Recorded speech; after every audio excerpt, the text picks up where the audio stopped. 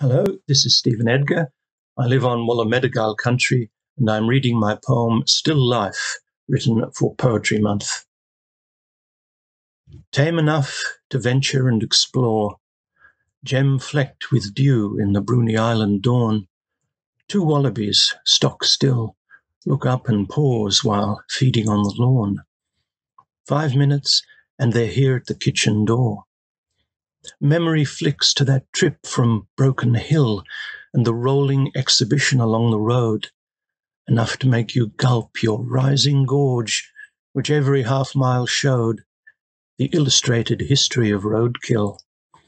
Truck smacked and mangled kangaroos, all pulp and gore, as though some surgeon hoped to find there in the guts the spark of life.